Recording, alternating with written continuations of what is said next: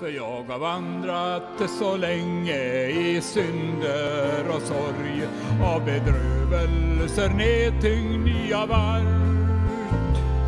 Jag har krälat i gränder på gator och torg. Allt har varit så mörkt och så svart. Ingen Gud, ingen Jesus då funnits för mig. Helt i djävulens boj jag var. Bara falskhet och svek på förtappelsens stig.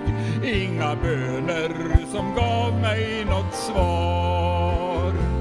Ingen Gud, ingen bön, bara hat och förakt. Ingen segrande lön ut i djävulens makt. Inget liv, bara död. Och hur stor var min nöd då jag tog av vad Satan mig bjöd. Men så hände det goda som aldrig jag tänkt där jag vandrat på tomhetens strand. Att min Jesus jag mötte som då ej jag känt och han tog mig så ömt i sin hand. All min nöd, alla sorger, de tog han på sig och han ändrade hela mitt liv. Med sitt dyrbara blod han upprättade mig då han sa kom till mig och förbliv.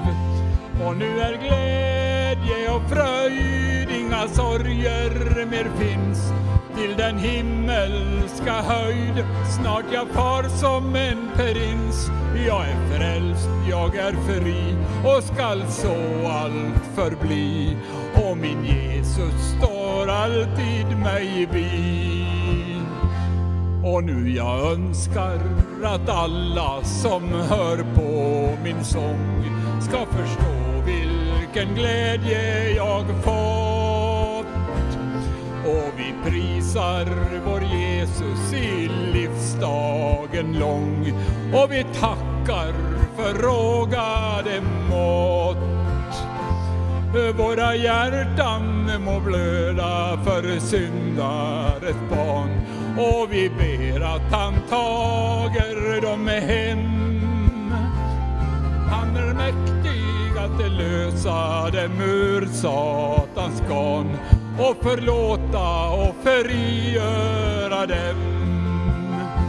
För då blir frid, allt blir väl, det får evigt bli fri och en upprättad själ som för evigt får bli.